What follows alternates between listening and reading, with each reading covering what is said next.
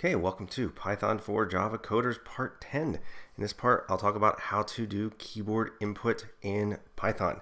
And you'll be pleasantly surprised, I don't know, uh, to know that it's a lot easier than doing it in Java. But it has a little couple little gotchas. So let's take a look here.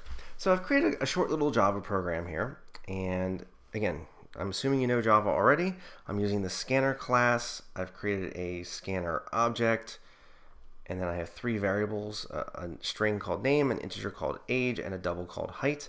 And I'm using the scanner class to get that information from the user. So next line gets us a string, next int gets us an int, and next double gets us a double. And I'm just printing it out here. So let's take a look at what that looks like. So it's going to ask me, what is your name? Eventually. My name is Christian. Okay, how old are you? I just turned 48 this month. And how tall are you? I'm 175.0 centimeters, give or take. And so it just prints out that same information. So let's go ahead and do the same thing over here in Python. Now, Python, I don't need to import anything. It just works. Okay?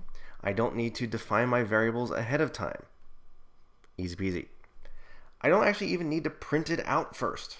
Watch what I do here. So name equals input. Quotation marks. What is your name?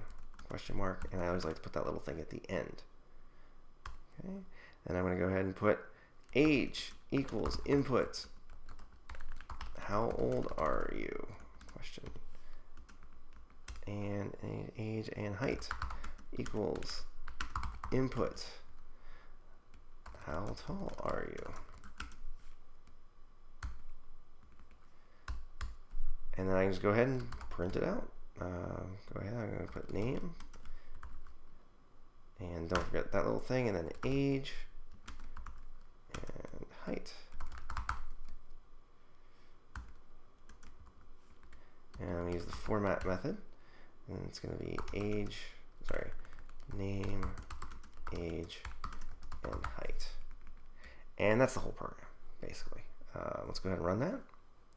My name is Christian. My age, as I mentioned, I just turned 48, and I am 175.0 centimeters. And I forgot to put a little space there. And you can see it prints out the exact same output, which is pretty cool. Um, that is one of the strong benefits of Python. You can do a lot of things really quickly, really efficiently, as compared to our little friend Java over here. Now, there is one very, very, very big gotcha that you have to be careful of. Okay. Over here in Java, if I use next line, and I've already declared that name is a string, I know this is a string. Okay.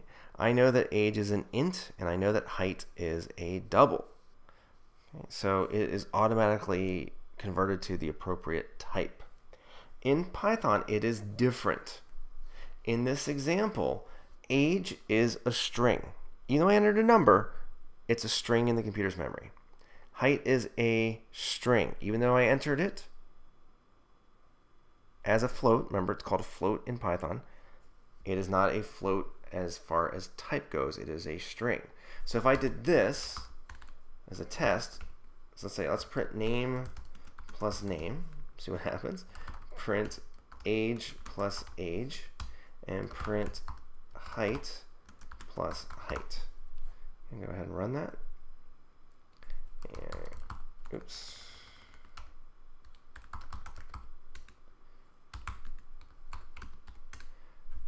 And you can see it is treating these as strings.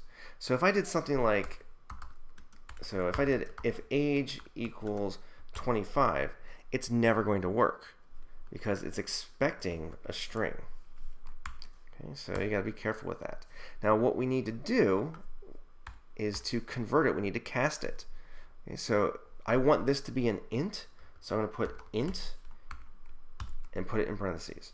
Remember, in Java, when we cast, we put it, we do it like this before the variable, but in Python, it is it's a, it's basically a function. So int parentheses and parentheses. Height, we want it to be a float, so I shouldn't have deleted that, and we would wrap that in parentheses. So I'm going to put that back. I'm not sure why I deleted it. I'll put name times 2, print uh, age times 2, and print height times 2. Let's go ahead and run that and see what we get this time. I spelled it wrong, it's okay. Age is yeah, 48. And how tall are you? I am 175.0. And you can see now this was treated as a string and because you can also multiply strings and just prints out multiple copies in Python. And here 48 was multiplied by 2 and for, and 175 was multiplied by 2.